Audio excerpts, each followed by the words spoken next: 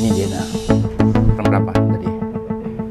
40 bisa membuat mikroba dan mini mikroba yang asli nanti yang akan menentukan adalah air. Kelapa saya punya. Nutrien ini saya tidak punya. Susu uh, susu tadi saya lupa tadi ngambilnya. Jus buah. Fermentasinya saya punya. Kaldu daging juga bisa meningkatkan tapi saya tidak punya. Kemudian agar ya. Nah, jadi nanti kita gunakan media-media ini saja ya untuk meningkatkan ini. Nanti kita akan fermentasi selama tujuh hari lagi ya jadi oke okay, mungkin kita langsung saja untuk mempraktekannya.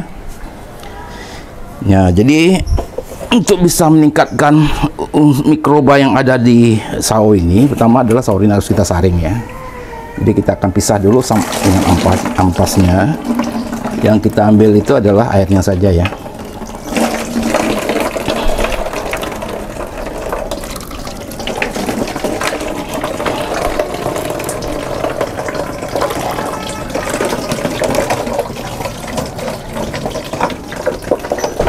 Oke, okay, Bella, uh, ini uh, udah saya saring ini. Uh, mall sawo kita sudah saya saring. Nah, sekarang kita akan menambahkan medianya.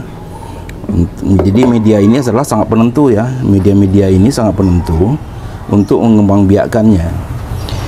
Nah, jadi ini lebih kurang sekitar ya 3 liter ya, mungkin 3 liter mungkin ya, 3 atau 4 liter mungkin ini.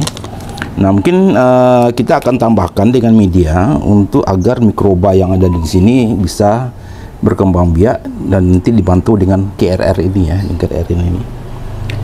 Nah uh, untuk medianya itu adalah sifatnya uh, tentatif ya. Jadi semakin artinya bahwa media yang kita masukkan untuk bisa meningkatkan itu semakin banyak sebenarnya makin semakin bagus ya. Jadi sebenarnya tidak ada ukuran yang pasti makin artinya makin banyak media yang kita masukkan semakin uh, besar kemungkinan mikroba kita itu akan uh, berkembang biak dan mungkin dia akan bisa hidup lebih lama ya. Nah tadi saya katakan bahwa media pertama itu adalah nih hmm, ini air kelapa ya air kelapa. Ini lebih kurang ya, setengah liter mungkin ini ya. Kita masukkan aja hanya segini yang saya dapatkan. Tapi kalau kita ingin lebih dari setengah liter ya enak masalah. Makin artinya gini makin banyak makin bagus ya. Nah, nah untuk membuat apa? Yang untuk buat mall ini media yang kita gunakan itu kalau lebih banyak daripada media mallnya itu tidak masalah. Jadi sebenarnya adalah mallnya ini adalah sebagai pemancing saja yang mikroba yang ada di dalamnya. Nanti yang akan menentukan adalah media ini Oke, kita masukkan ke ini oke satu air kelapa dan masukkan. Kemudian ini air leri. Ya saya masukkan ya. Ini tempatnya agak kecil ya. Oke kita masukkan sekitar satu liter aja. Nanti inti ini ada 10% yang harus kita sisihkan ini karena nanti ya mikrobanya ini yang berkembang itu adalah fakultatif ya. Jadi artinya tetap dia walaupun ya, tetap dia membutuhkan udara ya. Walaupun sedikit ya. Nah tapi dia tidak tidak mau terlalu banyak untuk untuk um, mendapatkan udara. Satu lagi memang ini harus kedap dan tutup ya. Karena kita khawatir kalau nanti ini terbuka dengan udara luar itu nanti bakteri yang lain akan bisa masuk ya. Terutama adalah bakteri-bakteri yang sifatnya patogen ya. Nah kemudian ini ada susu ya. Tadi susu nah, bahkan mungkin satu ini aja udah cukup ya untuk kita masukkan. Nah kemudian nah, satu lagi ini. Ada agar ya. Agar juga bisa kita masukkan ya untuk bisa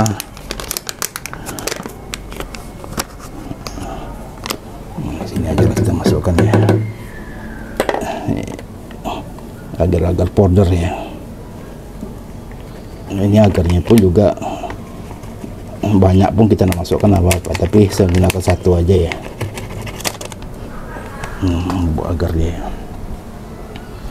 Memang kita untuk aduk ya. Nah. Nah namun sebelum kita aduk kita harus untuk meningkatkannya agak lebih pangkatnya lebih tinggi itu kita tetap menggunakan ini GRR ini Jadi QRR-nya lebih kurang ya. Akhirnya gini, minimal kita uh, gunakan itu 20 mili ya untuk per uh, 5 liter air ini. Tapi semakin banyak eh, semakin bagus ya. Nah, kalau ini kita gunakan sekitar 100 mili aja ya. 100 mili ini lebih kurang 20 mili ya. Ini 10 ini.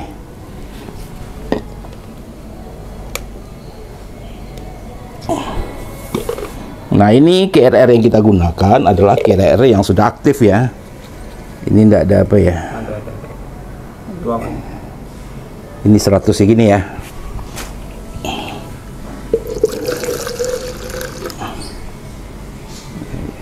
Jadi sebenarnya KRR yang sudah aktif ini makin banyak makin bagus ya. Makin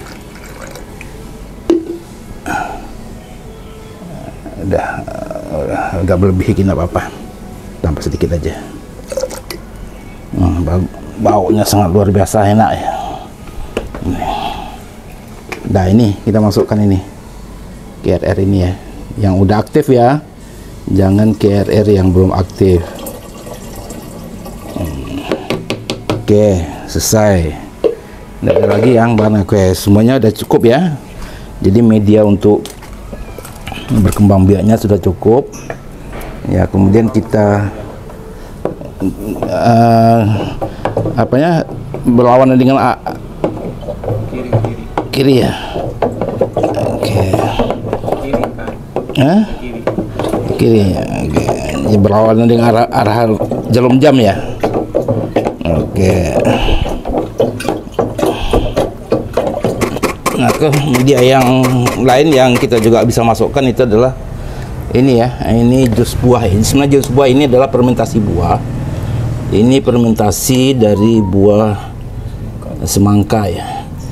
Jadi memang itu makanya kalau saya dapat buah apa pun yang yang terbuang saya coba fermentasi ya. Karena suatu ketika ada manfaatnya ya. Seperti ini. Ini fermentasinya udah enam bulan ya tapi ini kita bisa gunakan untuk media uh, meningkatkan uh, mikroba yang ada dalam suatu unsur ya dalam satu proses ini ya. Nah ini uh, media semangka ini semangka ini juga sangat tinggi sekali ya glukosa, fruktosa dan sakrosanya juga sangat tinggi sekali ini ya. Makanya dia sangat bagus ya untuk jadikan media untuk kita bisa mengembangkan apa ya mengembangkan bakteri ya nggak 10 persen itu ya Terus. ada ya oke okay. oke okay. kemudian tinggal kita aduk lagi ya karena aduk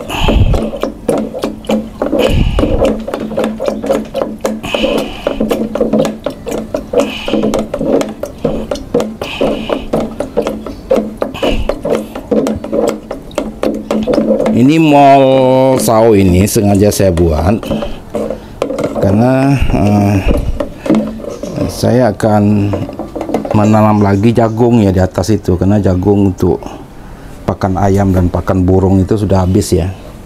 Sudah mulai habis itu saya lihat. Nah, kalau dibeli lumayan juga. Sekarang harganya jagung lumayan juga mahal ya. Karena ke atas waktu itu saya udah panen jagung sekarang saya tanam lagi jagung ya Nah, makanya saya buatkan uh, mall ini nanti akan kita aplikasikan ke tanaman jagung kita ya. Nah, jadi memang dalam sebuah ilmu dunia pertanian ya, manajemen dalam dunia pertanian ini sangat menentukan ya. Jadi uh, sebelum kita melakukan proses budidaya apa pun, yang perlu kita persiapkan itu adalah amunisinya ya. Jadi jangan kita nanam kemudian baru kita berpikir belakang itu memikirkan pupuknya memikirkan memikirkan peptisidanya memberikan segala macamnya itu ya. Terutama pupuk ya. Jadi pupuk ini jauh-jauh hari harus kita siapkan. Uh, kalau seandainya kita ingin melakukan proses budidayanya.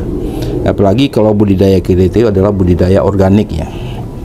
Nah kalau seandainya memang anorganik memang instan ya bisa kita langsung beli tapi kalau yang model-model seperti ini yang anorganik ini ya kita harus siapkan. Karena persiapan uh, pupuknya ini pestisidanya segala macam itu ya itu jauh lebih lama dari proses budidaya itu sendiri ya. Hmm, jadi memang ini sudah saya siapkan kenapa saya dulu membuat mall sawo ini karena memang ada tujuan saya adalah saya untuk mengaplikasinya ke tanam jagung yang akan saya tanam ya. Nanti kita akan coba review ya tanaman jagung untuk pembenahan tanahnya. Nah jadi uh, apa proses fermentasi ini untuk meningkatkan mikroba ini itu adalah uh, sifatnya itu adalah uh, apa ya? Anaerob fakultatif. Iya anaerob fakultatif.